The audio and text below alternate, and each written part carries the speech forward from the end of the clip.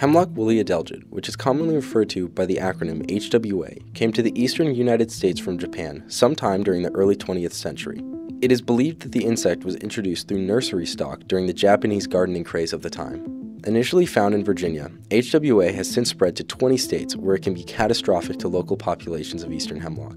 The insect itself is very small and features a long mouth part that it inserts into the tree at the base of its needles. The adelgid then feasts upon nutrients from the tree, but this is not what ultimately kills the hemlocks. The tree has a natural response called its generic wound response. When the tree is injured, it will close itself off from the injury to protect against infection. This normally is inconsequential to the health of the tree, but when one is infested with HWA and receives hundreds of thousands of bites, it will wall off so much of itself that it eventually has no way to produce any energy. Ultimately, the tree will starve itself to death after a few years.